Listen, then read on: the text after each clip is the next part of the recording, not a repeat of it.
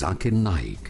দেখুন, অর্ধাঙ্গিনী, নাতিত্বাঙ্গিনী। প্রতি রবিবার রাত সাড়ে সাতটায় আপ সম্প্রচার। সকাল সাড়ে নটায় বাংলাদেশে। বিস টিভি বাংলায়।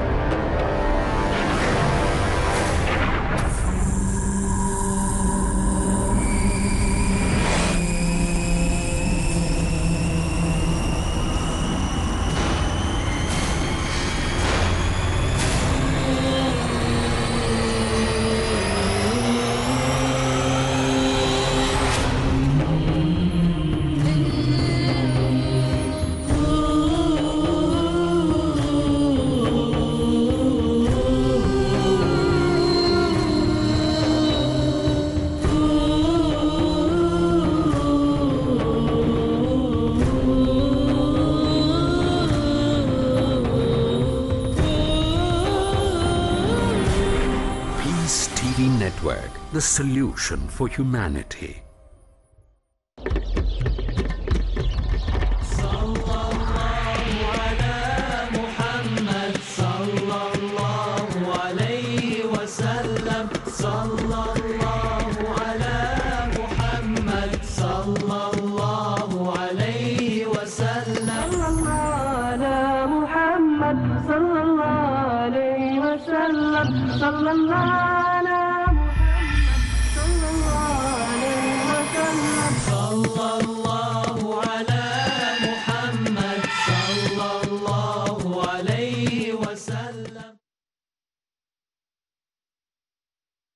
السلام عليكم ورحمة الله وبركاته. الحمد لله. الحمد لله رب العالمين. والصلاة والسلام على رسوله الأمين. نبينا وحبيبنا وقائدنا وقدوتنا محمد وعلى آله وأصحابه وأزواجه وذرياته. وعلى من تبعهم بإنسان إلى يوم الدين. اللهم اجعلنا معهم بمنك. ওয়াকারামিকা ইয়া আকরামাল আকরামিন আম্মা সুপ্রিয় দর্শক, শ্রোতা পৃথিবীর যে প্রান্তে, যে দেশে বসে পিস টিভি বাংলার এই সুন্দর আয়োজন দেখছেন, আপনাদের প্রত্যেককে অনেক অনেক প্রীতি আর মোবারকবাদ জানাচ্ছি। বন্ধুগণ, আমরা সবাই মিলে ধারাবাহিক আমাদের এই আয়োজনে মোহাম্মদুন সাল্লাহ আলী ওসাল্লামের জীবন, তার সিরাতকে জানতে চাচ্ছি। কারণ তার জীবন এবং সিরাতের প্রত্যেকটি অধ্যায় প্রত্যেকটি মুহূর্ত, প্রত্যেকটি প্রেক্ষাপট আমাদের জন্য শিক্ষণীয়, আমাদের জন্য অনুসরণীয়, আমাদের জন্য অনুকরণীয়।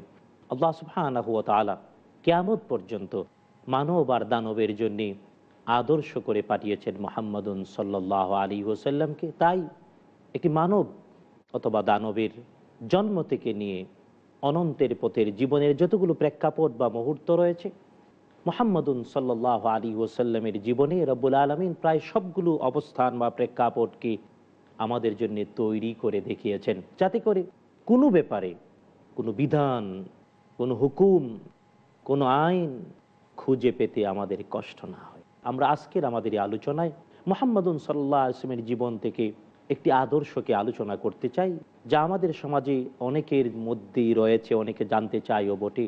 আর এই বিষয়টি হলো পালক পুত্র এবং পালক নেয়া সংক্রান্ত বিষয়াদি এবং পালক পুত্র সংক্রান্ত হুকুম। কারণ মোহাম্মদুন সাল্লাহ আসলামের জীবনে ঠিক এমনি পালক পুত্র ছিলেন। তাহলে শুনুন, মোহাম্মদ সাল্লাহ আলী ওসাল্লাম এবং খাদিজুল কুবরা রাদি আল্লাহ আনহা, অর্থাৎ হোসেমের নবুয়তের পনেরো বছর আগে তিনি যখন পঁচিশ বছর বয়সের যুবক ছিলেন, তখন বিবাহ বন্ধনে আবদ্ধ হন। তৎকালীন চল্লিশ বছরের বৃদ্ধা, অথচ অন্ধকার যুগে পবিত্রা নামে তাহেরা লকবে ধন্যা খাদিজা বিন্তু খোয়াইলিদ রাদি আল্লাহ তালানহার সাথে। তাদের দাম্পত্য জীবন রসুল সাল্লাহ আলী ওসাল্লামের জীবনে প্রায় পঁচিশ বছর পর্যন্ত কন্টিনিউ হয়। রসুল সাল্লাহ তাল আলী ওসাল্লামের পঞ্চাশ বছর বয়স পর্যন্ত আর খাদিজুল কুবর রাদি আল্লাহ তাল আনহা তার পঁয়ষট্টি বছর বয়স পর্যন্ত এই সুন্দর দাম্পত্য জীবনে তারা ধন্য ছিলেন। এবং তাদের এই সুদীর্ঘ দাম্পত্য জীবনে তাদেরকে দুইজন পুত্র সন্তান, মতান্তরে তিনজন পুত্র সন্তান আর চারজন কন্যা সন্তান দান করেছিলেন। জন্ম নিয়েছিলেন রসুল সাল্লাহ আলী ওসাল্লামের ঔরস থেকে। খাদিজাতুল কুবরা রাদি আল্লাহ গর্ব থেকে প্রথম পুত্র সন্তান কাসেম।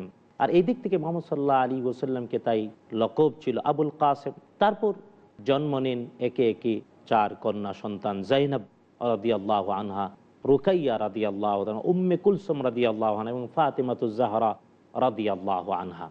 আর সবশেষে আরেকজন পুত্র সন্তান, নাম হলো আবদুল্লাহ, যার উপনাম তাহের বা তাইয়েব। যদিও কোন কোন বর্ণনায় রয়েছে তৃতীয় আরেকজন পুত্র সন্তান, একজনের নাম আবদুল্লাহ, আরেকজনের নাম তাহের। যিনি তাহের, তার নাম তাইয়েব। রসুল সাল আলী হোসেনের জীবদ্দশায় এই পুত্র সন্তানরা ইন্তেকাল করেন। খাদিজতুল কুবরা রাদি আল্লাহ গর্বে যারা ছিলেন।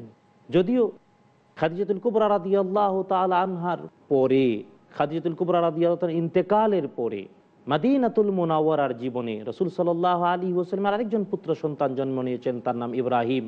কিন্তু ইব্রাহিম তিনিও ইন্তেকাল করেছিলেন ষোলো মাস বয়সে মাদিনাতুল মোনাওয়ারায়। তৎকালীন উকাজ মেলা থেকে একটি পুত্র সন্তান কিনে এনেছিলেন। যদিও কিনে এনেছিলেন, তাই তার গোলাম গোলাম বা দাস, কিন্তু কিনে এনেই তিনি মোহাম্মদ সাল্লাহ আসলামের জন্য তাকে উৎসর্গ করে দেন।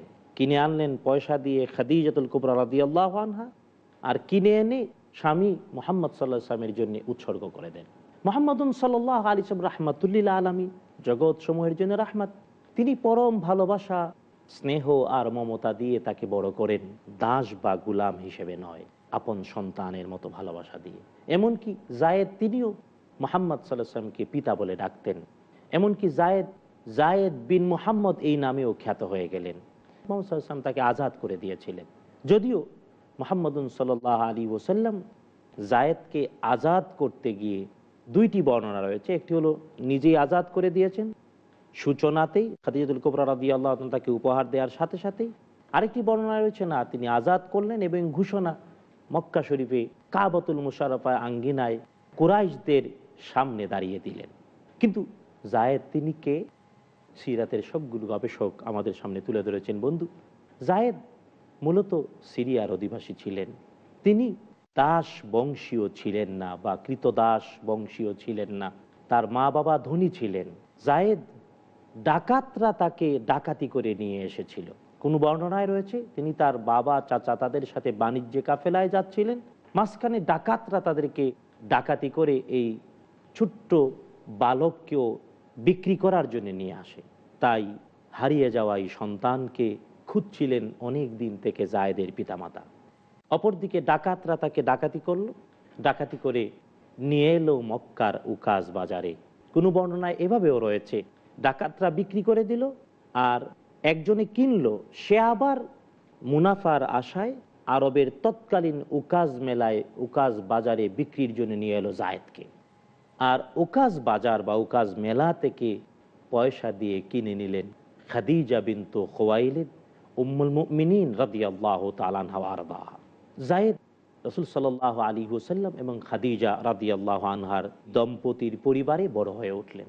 এক পর্যায়ে কয়েক বছরের মধ্যেই জায়েদ এর খবর ছড়িয়ে পড়ল, এমনকি বাবা, চাচা যারা খুঁজছেন, চতুর্দিকে কোথায় গেল আমাদের সন্তান, তারাও পেলেন খুঁজ। হারিয়ে যাওয়া সন্তান। তার সন্ধান যখন পেলেন, জায়েদের পিতা, চাচা তারা ছুটে এলেন সুদূর সিরিয়া থেকে মাক্কাতুল মুকাররমায়। মোহাম্মদ বিন আবদুল্লাহ আলহি আফজলুসাল্লাহ তসলিম এবং খাদিজা বিন্তু খোয়াইলিদ এই দম্পতির কাছে। জাহেদের পিতা হারেস এবং চাচা কাপ এই দুইজন এলেন প্রথম। এসে মোহাম্মদ বিন আবদুল্লাহ আলী আফজলুসাল্লাহ আজকে তসলিম। তথা বিশ্বনবীর কাছে খুব বিনয়ের সাথে নিজেদের পুত্রের পরিচয়, নিজেদের পরিচয় পেশ করলেন। পুত্র চিনলেন বাবা আর চাচাকে। তারপর সবিনয় আবদার করলেন জায়েদ সে আমাদের সন্তান, আমরা দরিদ্র নই, আমরা দাস নই। হ্যাঁ আমাদের সন্তান ডাকাতি হয়ে, বিক্রি হয়ে দাস হিসেবে রয়েছে, এটা আমাদের জন্য কলঙ্কের। আপনি মূল্য নির্ধারণ করে দিন। আমরা মূল্য দিয়ে আমাদের পুত্রকে মুক্ত করে নিয়ে যেতে চাই।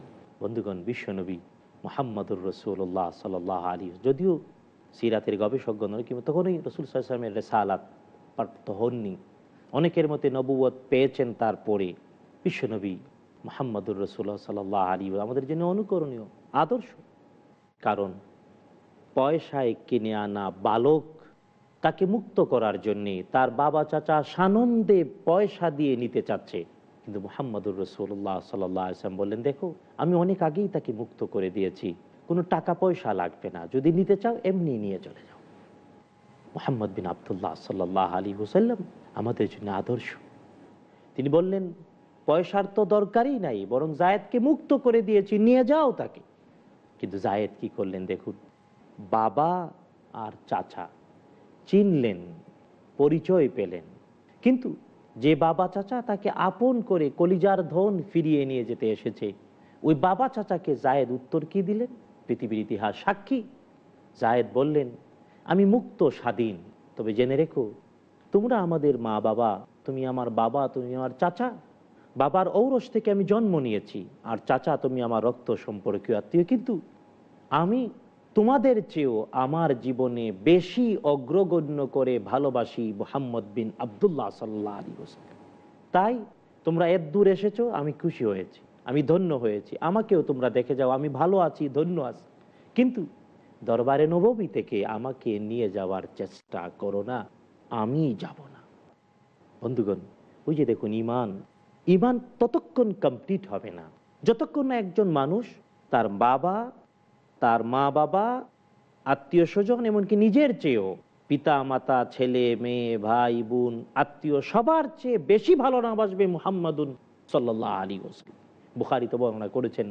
উমরুদ্দিন খত্তাব রাদি আল্লাহ আনহু, রসুল সাল্লাম এর সামনে ইয়া রাসুল আল্লাহ আমি আপনাকে ভালোবাসি, তবে নিজের চেয়ে নয়। আমার নিজের জীবনটাকেই বেশি ভালোবাসি, কিন্তু আপনাকে আমার নিজের জীবন ছাড়া অন্য সবার উপরে ভালোবাসি। বলেন ওমার এখনও পূর্ণাঙ্গ ইমান তোমার নসিব হয়নি। তারপর উমর আব্দুল রাদিয়াল্লাহু নিজে কিছুক্ষণ সিদ্ধান্ত নেবে, ইয়া রাসুল আল্লাহ হ্যাঁ এই মুহূর্ত থেকে আমি আমার নিজের জীবনের চেয়েও আপনাকেই বেশি ভালোবাসি। মানে ওমার হ্যাঁ এবার কমপ্লিট হয়েছে। দেখুন, জায়দ বিন হারেসা রাদি আল্লাহ বড় লোকের সন্তান ছিলেন। ডাকাতের পাল্লায় পড়ে, ডাকাতি করে নিয়ে এসে বিক্রি করে দিল। কেনা গুলাম হয়ে আসলেন মোহাম্মদ বিন আবদুল্লাহ সাল্লাহ সাল্লামের ঘরে। এতটা ভালোবাসা, সৌহার্দ্য পেলেন। রসুল হাসাম তাকে মুক্ত করে দিলেন। আর এর সবচাইতে সার্থক উদাহরণ তিনি নিজেই হয়ে থাকলেন এই বলে যে তার বাবা চাচার সাথে না গিয়ে বলেন আমি তোমাদের সাথে যাব না। মোহাম্মদ সাল্লাহ আসলামের এই দরবারে সারা জীবন থেকে যেতে, অনেক ঐতিহাসিকের মতে তখনও মোহাম্মদ সাল্লাহাম নবুয়ত প্রাপ্ত হননি। আবার অনেক ঐতিহাসিকের মতে তখন নবুয়ত পেয়েছেন। তবে নবুয়ত পাওয়ার আগেই এমনটি ঘটেছে বলে অনেকের অভিমত। দেখুন নবুয়ত পাওয়ার আগেই মোহাম্মদ সাল্লাহ আলী ওসাল্লাম এতটা চরিত্র মাধুর্যে ধন্য হয়েছিলেন যে একজন অন্য দেশের, অন্য বংশের, অন্য মানুষের সন্তান নিজের বাবা, চাচার চেয়ে তাকে বেশি ভালোবাসে। ইমান আনয়নের সহ ইমান পূর্ণ হওয়ার জন্য তো এটাই শর্ত। সুতরাং মোহাম্মদ সাল্লামের প্রতি আমাদের কলিজার ভালোবাসা নিজের জীবনের চেয়ে বেশি হওয়া উচিত। জাহিদ বিন হারেসা রাদিয়াল্লাহ আনহু প্রমাণ করলেন, বাবা চাচাকে ফিরিয়ে দিলেন, বললেন, না, আমি তোমাদের সাথে যাব না। আমি এই দম্পতির জন্যই সারা জীবন এখানে থাকব। তারাই আমার বাবা মা। বন্ধুগণ জায়েদ বিন হারেসা রাদিয়াল্লাহ আনহু, তিনি রসুসমের পালক পুত্র ছিলেন। তার ব্যাপারে আমরা আরও জানব। তবে একটি ছোট্ট বিরতির পর আমাদের সাথেই থাকুন।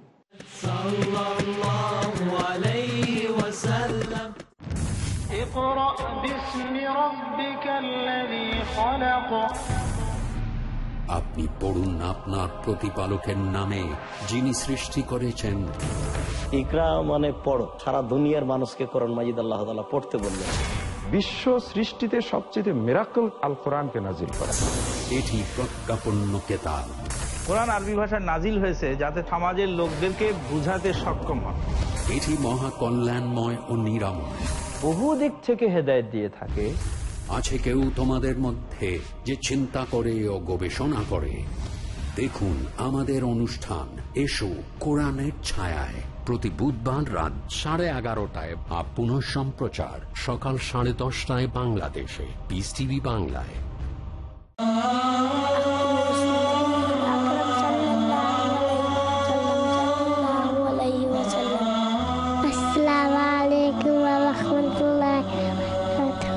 Is Farid Zakir. I am Zikra Naik. My name is Rushta Naik.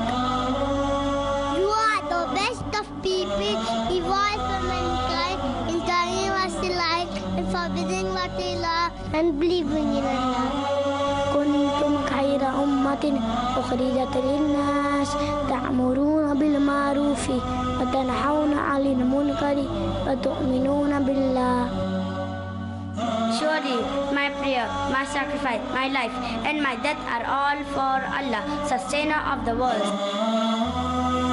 দেখুন চমৎকার শিশুরা প্রতি বৃহস্পতিবার সন্ধ্যা সাতটায় আপ পুনঃ সম্প্রচার সকাল নটায় বাংলাদেশে। পিস টিভি বাংলায়।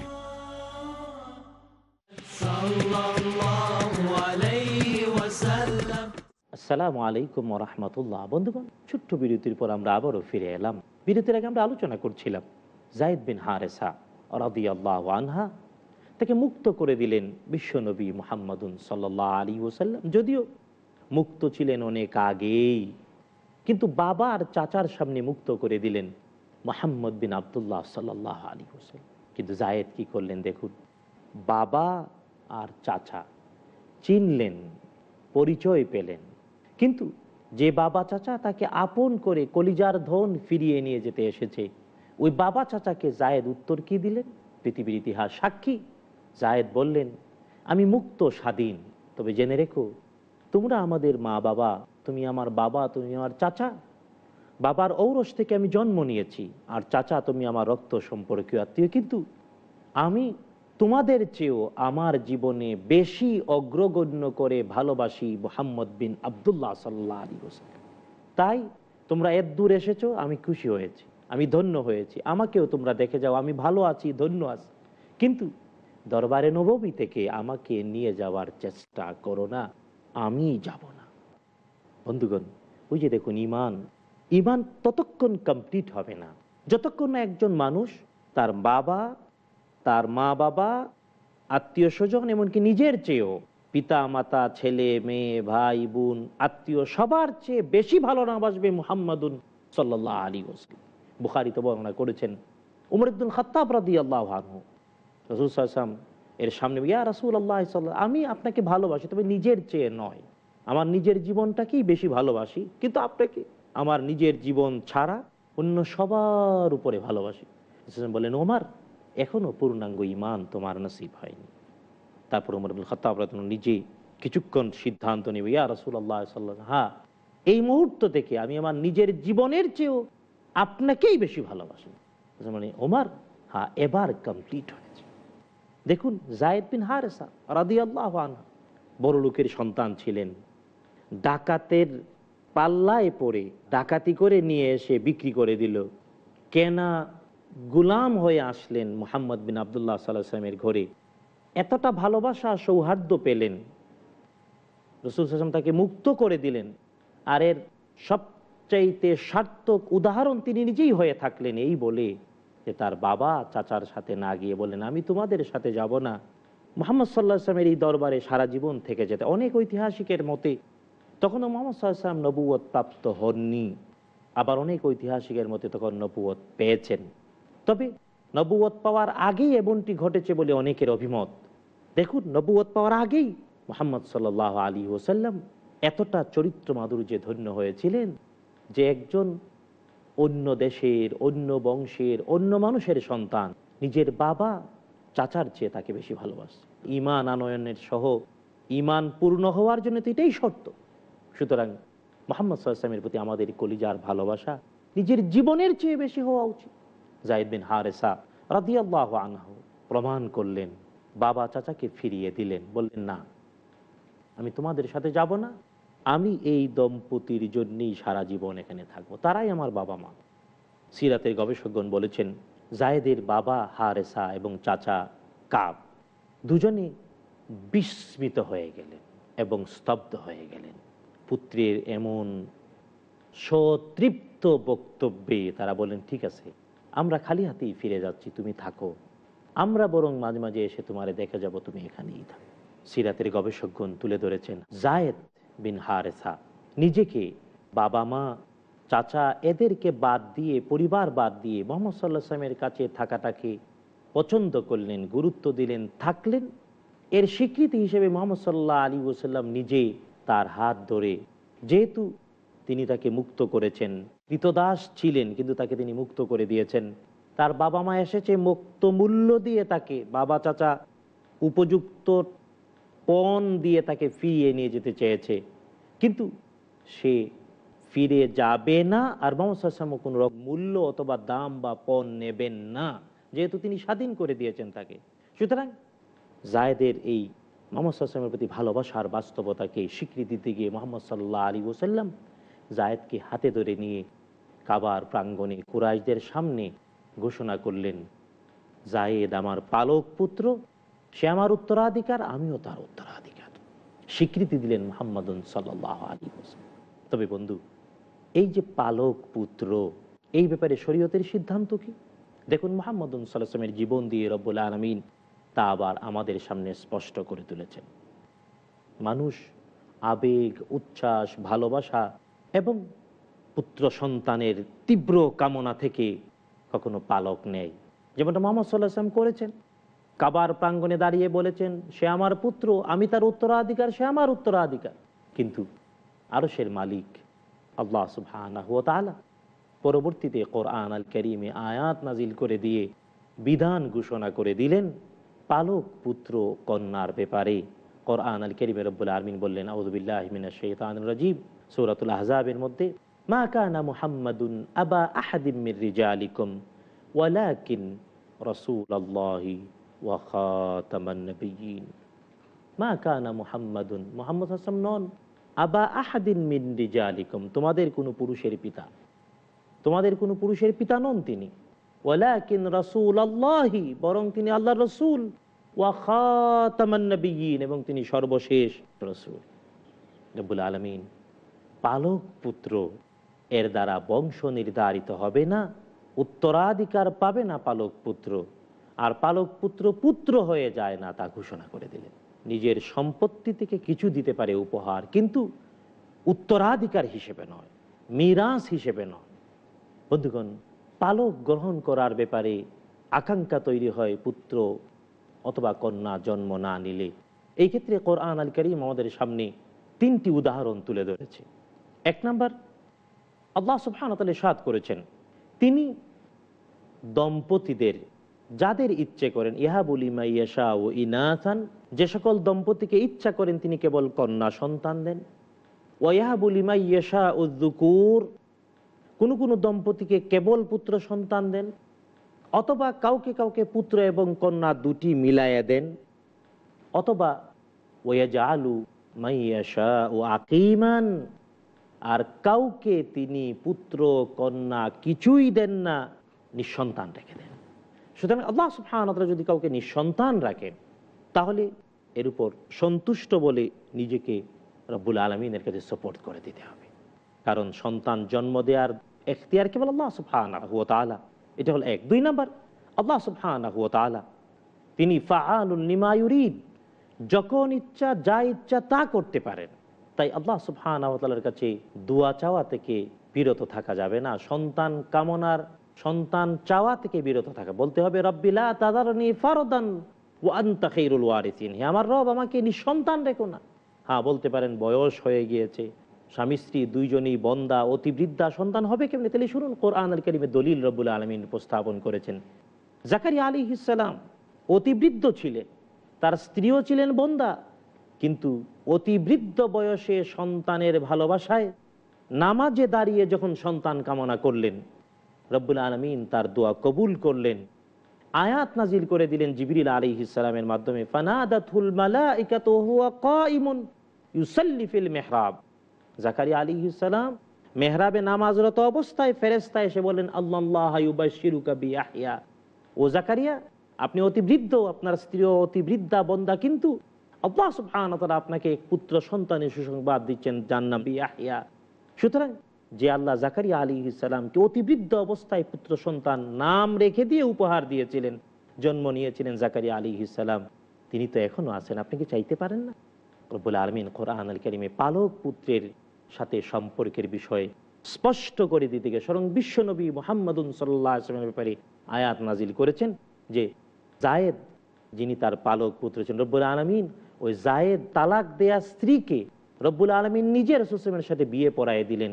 যাতে করে পালক পুত্রের বউ, পালক পুত্র ঔরসজাত পুত্রের মতো নয়। ঔরসজাত পুত্র যাকে বিয়ে করে, বাবার জন্য, জনমের জন্য তা হারাম। কিন্তু ঔরসজাত পুত্র যে নয়, পালক পুত্র, তার স্ত্রী তো বিধবা হলে অথবা তালাক প্রাপ্ত হলে বিয়ে করা যায়। রসুল সাল্লামের জীবনে এমনটা ঘটিয়ে দেখে রব্বুল আলমিন আমাদের সামনে উদাহরণ পেশ করেছেন। বন্ধুগণ, আসুন না। সিরা নববিয়া থেকে পালক পুত্র কন্যার ব্যাপারে কোরআন এবং সুন্না কর্তৃক এই প্রদত্ত সিদ্ধান্তকে সানন্দে, সাদরে গ্রহণ করি। রব্বুল আলমিন আমাদের সকলকে তৌফিক দিন, আমিন। আসসালামু আলাইকুম ওরহমতুল্লাহি ওবরাকাত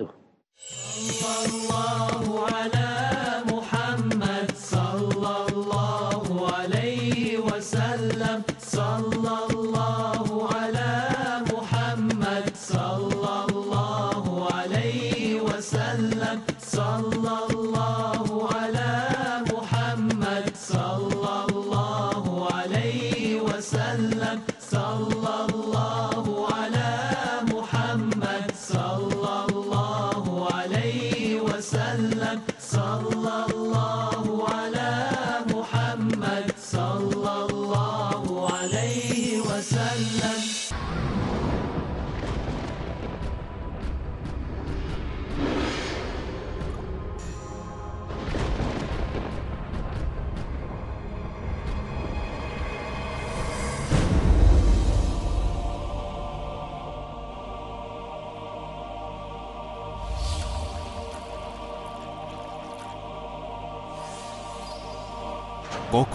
কয়েক ফোঁটা পানি একজনের তৃষ্ণা মেটাতে পারে।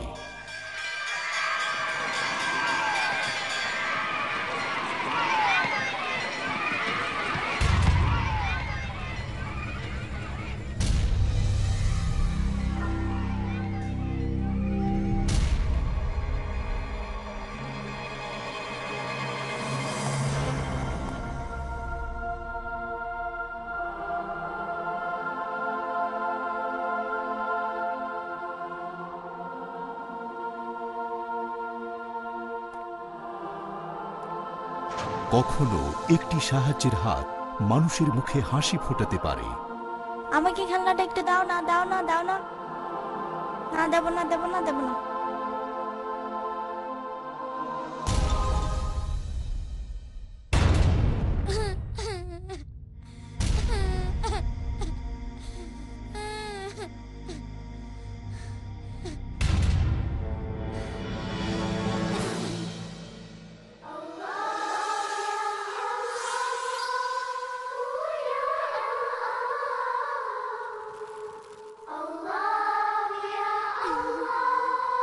কখনো সামান্য একটি উপহার হতে পারে মহামূল্যবান।